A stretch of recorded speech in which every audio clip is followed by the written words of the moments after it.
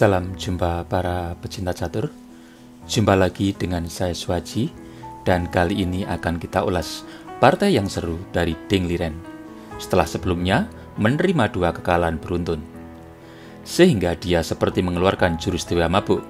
Seakan semua jurus dikeluarkan saat menghadapi Fabiano Caruana yang juga merupakan penantang Magnus Carlsen pada kejuaraan dunia tahun 2018.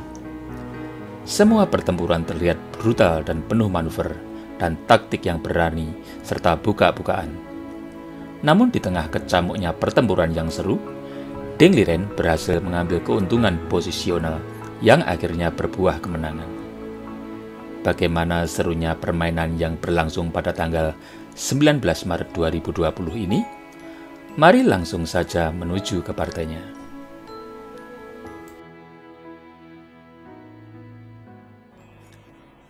Deng Liren mengawali permainan dengan pion D4 dan Fabiano Caruana menjawab dengan pion D5. Dan setelah pion C4, hitam memilih langkah pion C6. Sebuah sistem yang solid yang dikenal dengan pembukaan Slav. Dan putih melanjutkan dengan pengembangan kuda ke F3. Kuda F6, kuda C3 pion pukul pion C4. Pion A4 untuk mencegah dominasi pion hitam di sayap raja, yang mana hingga di sini semua langkah bisa dibilang masih teoritis. Gajah F5, kuda E5, pion E6, pion F3. Untuk menjaga peta G4 dan E4. Gajah B4. Pada posisi ini, sebenarnya langkah putih yang paling populer adalah pion E4. Namun ini memberi kesempatan hitam untuk melancarkan serangan sejenis martial attack dengan gajah pukul pion E4. Setelah pion pukul gajah E4, kuda pukul pion E4, gajah D2, menteri pukul pion D4, kuda pukul kuda E4, menteri pukul kuda E4 skak, menteri E2, gajah pukul gajah D2 skak, raja pukul gajah D2, menteri D5 skak, hitam punya kompensasi yang cukup, yaitu 4 pion atas pengorbanan gajahnya, di mana posisi ini sering dimainkan para GM seperti Mamet Yarov, Grijuk, Topalov, dan masih banyak GM papan atas yang lainnya. Kembali, namun kali ini Ding Liren memilih langkah alternatif dengan kuda pukul pion C4. Rokade, Raja F2, menghindar dari pin gajah.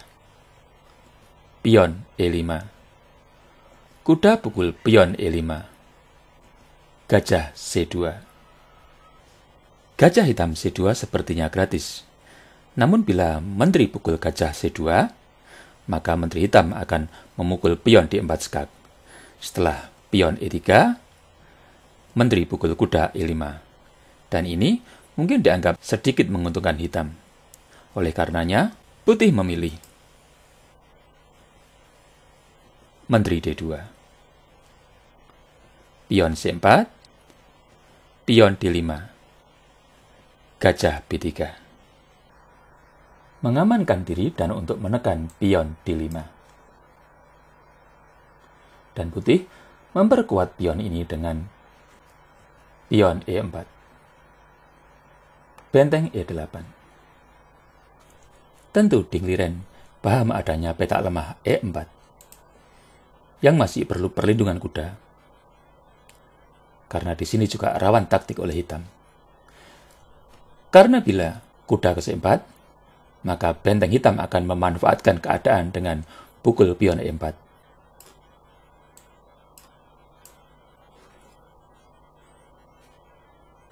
Yang bila benteng ini dipukul dengan kuda maupun pion, akan mengakibatkan melayangnya Menteri Putih. Kembali, untuk itulah Putih melangkah Menteri F4. Pion C4, kuda pukul pion C4. Di sini, hitam tidak keburu menukar gajah dengan kuda dengan alasan keamanan, tapi lebih memilih melengkapi perkembangan sayap menterinya dengan kuda B D7 yang bisa digunakan untuk memperkuat sayap raja dengan melewati peta F8 yang bisa mencapai peta G6. Gajah E3, kuda F8, gajah D4. Langkah logis reposisi gajah ke peta yang paling aktif kuda G6. Dengan adanya tekanan kuda terhadap Menteri Putih, langkah sederhana Menteri GC1 juga cukup bagus. Namun Putih lebih suka langkah yang agresif dan aktif, walau harus mengarah ke komplikasi dengan Menteri F5. Gajah pukul kuda C4. Gajah pukul gajah C4. Menteri C7. Gajah E2 gajah C5. Mencoba menukar salah satu gajah putih sehingga bisa memperlemah petak-petak gelap. Gajah pukul gajah C5, menteri pukul gajah C5 skak. Raja F1. Pion H6. Sebuah langkah prophylactic membuka lubang H7 untuk keamanan Raja Hitam. Benteng D1. Menteri B6 tetap menjaga diagonal G1 B6 dan untuk menekan pion lemah B2. Dan putih melindunginya dengan benteng D2. Menteri E3, benteng C2, pion A6. Menteri H3, pion B5, Menteri G3. Saat diwawancarai reporter dari VD tentang posisi ini, Deng Liren mengatakan, After I move my queen to g3, and he did not have too much to counterplay, and at that point I saw my position much better. Kalau saya terjemahkan, setelah saya melangkah menteri G3, dan dia tidak bisa berbuat banyak untuk memberikan perlawanan, pada saat itu saya melihat posisi saya jauh lebih bagus. Dan selanjutnya, Hitam melangkah, pion B4. Kuda D1. Menteri B3. Benteng D2. Menteri pukul pion A4. Menteri F2. Mengosongkan petak G3 agar pion bisa maju. Untuk mengontrol petak F4 dan H4. Menteri D7, Pion G3, Menteri H3 Skak, Raja G1, Pion A5, Menteri D4, Kuda H5, Kuda F2, mengusir Menteri Hitam yang bagai duri dalam tenggorokan. Menteri D7, Pion F4, Melihat dua kuda hitam yang duduk bersebelahan kurang aktif, hitam memutuskan langkah. Kuda H pukul pion F4. Dan setelah pion pukul kuda F4, kuda pukul pion F4, hitam berhasil membongkar dan memperlemah sayap raja atas pengorbanan seekor kudanya. Raja F1 Menteri D6 Benteng G1 ancaman skakmat dengan menteri pukul pion G7. Dan hitam mengatasi ini dengan pion F6. Gajah B5, ancaman terhadap sebuah benteng. Benteng E7. Pada posisi ini, kuda putih ke G4 untuk menekan pion F6 dan H6 juga bagus untuk dipertimbangkan. Bahkan dari petak G4, kuda juga bisa menuju petak strategi F5. Melewati petak E3. Namun dalam permainan ini, putih memilih pion B3 untuk menghentikan perlawanan hitam di sayap raja. Benteng F8, benteng C2, kuda E6. Numpang lewat untuk reposisi ke petak G5 yang lebih baik. Dan tentunya pion tidak bisa pukul kuda karena menteri hitam dan menteri putih sudah saling berhadap-hadapan. Dan setelah menteri E3, kuda ke G5. Pion H4. Mengusir kuda yang menekan pion E4 kuda F7, benteng C6. Menekan menteri sekaligus mengincar pion di baris 6. Menteri B8, Menteri C5. Melindungi gajah sekaligus menekan benteng hitam E7. Pada posisi ini, putih memang sudah cukup unggul dengan perwira-perwiranya yang aktif dan pion pusat yang cukup solid. Mengingat adanya ancaman benteng terhadap pion F6, Menteri ke E5 tentu pilihan logis.